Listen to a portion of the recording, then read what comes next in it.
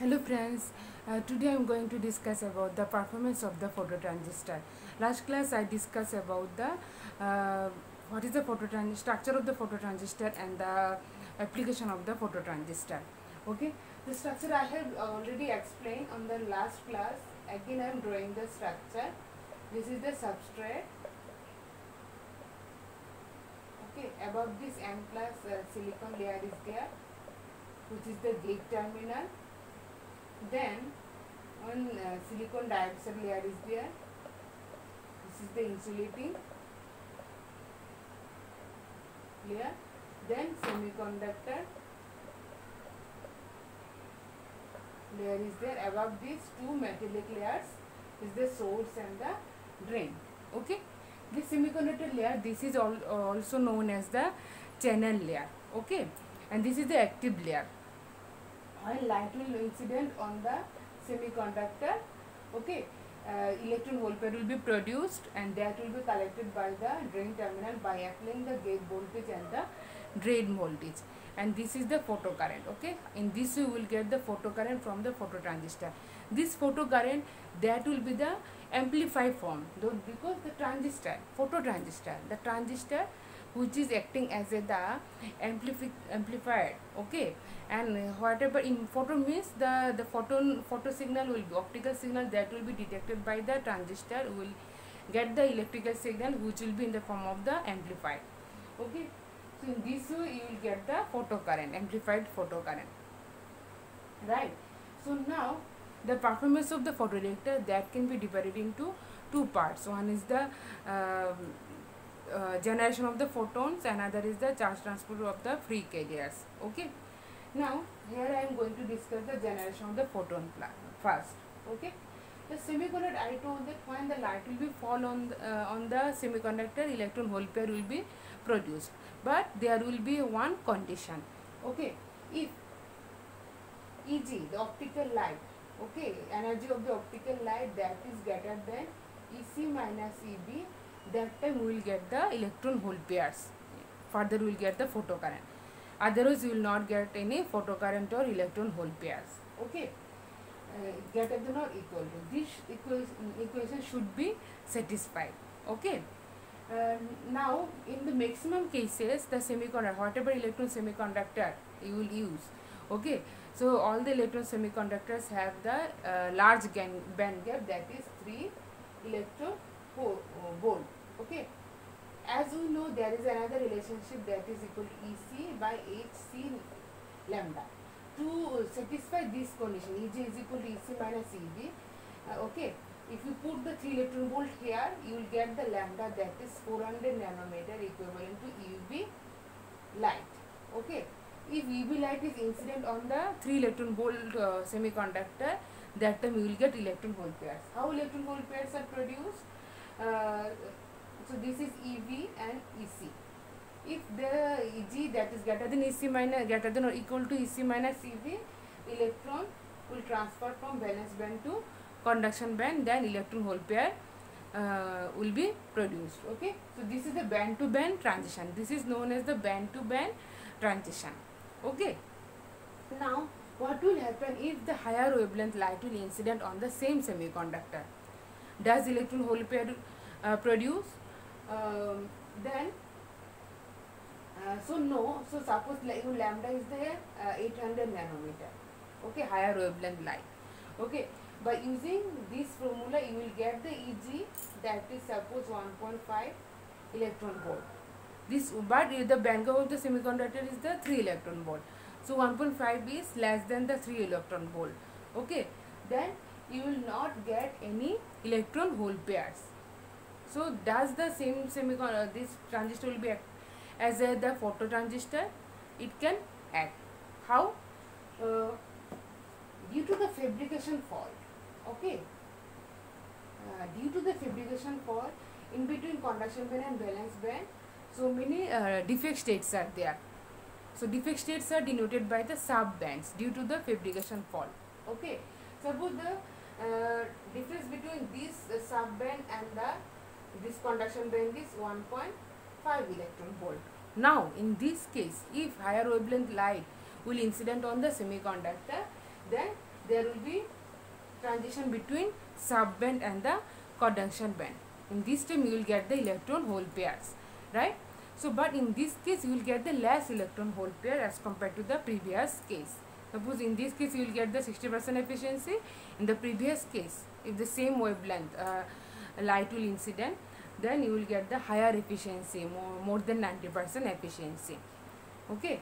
So, this is about the photon transport photon generation of the phototransistor. Okay. Now I come to the uh, charge transport phenomena.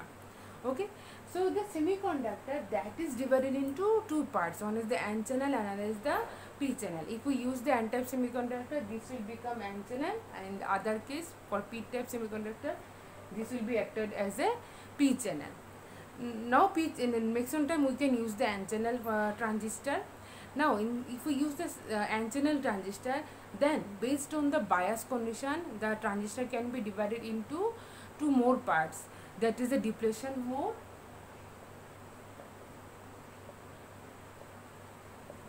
another is the accumulation mode. Mode. Okay, what this? What is this? Okay. So first we will tell about the depletion mode. Okay. In case of the depletion mode, at the gate terminal, this is the gate terminal, right? At the gate terminal, we have to apply the negative voltage in case of the depletion mode. Okay. So, what will happen? If negative voltage is applied, this is the N channel semiconductor, right? Okay. So, the electrons, whatever electrons are there in N channel semiconductor, all the electrons are pulled away, pulled away uh, at the uh, from the interface of the semiconductor and insulator layer okay all the electron will be reached at the end of the semiconductor and this entire uh, semiconductor channel the depletion layer will create or depletion region will create. What is the depletion region? That i told in the last to last class in case of the photo detector that if any immobile ions are there no free carriers are there so this will create the electric field. This is the neutral region or depletion region okay? Because all the electrons are pulled away from the junctions uh, from this junction then this will create a depletion region due to the depletion region electric field will also produce in the entire region. Okay. Now related to depletion region photoconductive mode is associated. In this depletion region we will not get any device current. When any electrons are there then if we apply any voltage at the drain terminal this electron will be collected. But in this case that the entire n-type semiconductor that is uh, converted into the uh, depletion region. Okay will not get any device kind. Now here the photoconductive mode is dominating factor in case of the depletion region. What is this mode? Now if we apply the uh, optical signal on the semiconductor then what will happen? In this uh, semiconductor layer electron hole pair will create as no other carriers are there this will electron hole pair will not be recombined with the other electron holes okay so electron hole pair will be created and due to the depletion region electric internal electric field is already there Due to the strong electric field, electron hole pair will be dissociated into free carriers. Okay. So if we apply the drain uh, voltage and the source voltage, electron will be collected by this drain terminal and here we will get the photocurrent. So photocurrent is the dominating factor in case of the conduction mode, photoconductive mode or depletion mode. Okay. Now come to the accumulation mode.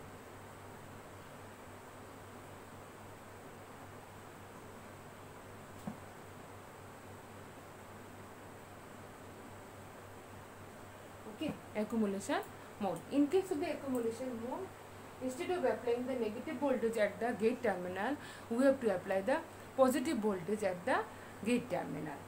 Okay, uh, positive voltage at the gate terminal.